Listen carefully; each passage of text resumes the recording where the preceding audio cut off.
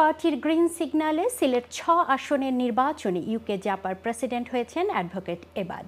MP Nahid Dhaka থেকে syndicate পরিচালিত করেছেন নিজের প্রার্থিতায় এমনই অভিব্যক্তি প্রকাশ করেছেন অ্যাডভোকেট এবাদের। এই নিয়ে বিস্তারিত দেখুন আমাদের চিফ রিপোর্টার চৌধুরী মোরাদের বিশেষ রিপোর্টে।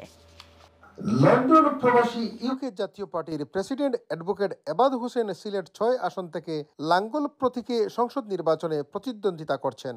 আমি অ্যাডভোকেট মোহাম্মদ আবাদ হোসেন ঐক্য জাতীয় পার্টির সভাপতি এবং সেন্ট্রাল কমিটির নির্বাহী সদস্য।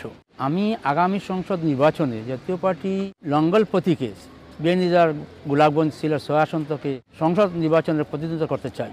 আমি মাননীয় পার্টি চেয়ারম্যান এবং মহাসচিবের সাথে আলাপ করে গ্রিন সিগন্যাল পেয়ে আমি আমার এলাকাতে দীর্ঘদিন ধরে কাজ করতেছি। অ্যাডভোকেট এবাদ হোসেন সিলেট পাঁচ আসনের সাবেক এমপিকে ছয় আসন বিয়ানীবাজার গোলাপগঞ্জের জন্য কিছুই না বলে জানান। আসলে আমি ওনাকে কোনো প্রতিদ্বন্দ্বী মনে করি না। উনি সিলেট পাঁচ থেকে বিনা ভোটে নির্বাচিত হয়েছিলেন। অথচ দুই হাজার আঠারো নির্বাচনে উনি জামানত হারিয়েছেন। এখন যদি নির্বাচন করতেই চান উনি তো সিলেট পাঁচ থেকে নির্বাচন করার কথা। এদিকে বর্তমান এমপি ঢাকায় থেকে সিন্ডিকেট নিয়ে পরিচালিত হচ্ছেন বলেও জানান অ্যাডভোকেট এবাদ। গোলাপগঞ্জ বিয়ানীবাজার এটা প্রবাসী অধ্যুষিত এরিয়া তো বর্তমান সংসদ সদস্য, আমি ওনার সমালোচনা করতেছি না, উনি প্রবীণ মানুষ, মুরব্বী মানুষ, বয়স্ক মানুষ। সেই জন্য উনি ওরিয়াতে না গিয়ে, উনি ঢাকায় বসে সিন্ডিকেট দিয়ে উনি এই বিয়ানীবাজার গোলাপগঞ্জ সংসদ চালাচ্ছেন। সেই জন্য এই এরিয়ার যে দুর্দশা, আপনি যদি বাস্তবে না যান বাস্তবে গেলে দেখতে পারবেন এই এরিয়াতে যে এলোমেলো করে রেখেছেন বিয়ানীবাজার গোলাপগঞ্জ আওয়ামী লীগের মানুষও ওনাকে ভোট দিবে না। আমার, যাদের সাথে আলাপ হচ্ছে সবাই বলছে, আপনি আসেন।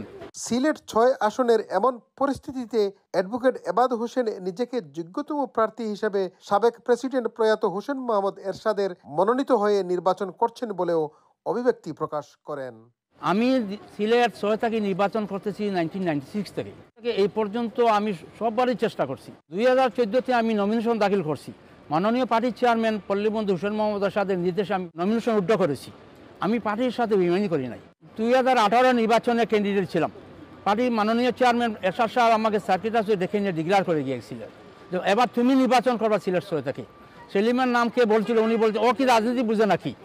তাকে কেন দিব? আসলে তোমাকে নির্বাচন তোমাকে ডিক্লেয়ার করে দিয়ে যাই। সিলেট, সিলেটের সামনে নেতৃবৃন্দ ছিলেন, গোলাপগঞ্জ বিয়ানীদের সব মানুষ সবার সামনে।